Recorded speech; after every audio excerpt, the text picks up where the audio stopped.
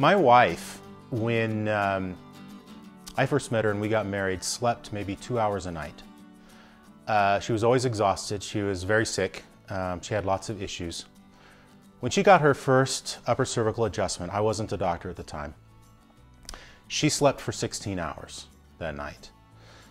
Over the years, since I've become a chiropractor, I have seen several patients. One of the most common reactions after the first adjustment is, I slept so well last night.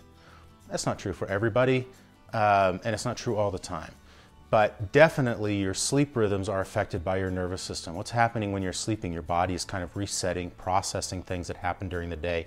If you have a neurological problem, it can definitely be interrupting that. Not to mention that if you've got back pain and uh, the back pain goes away, you're probably going to sleep better.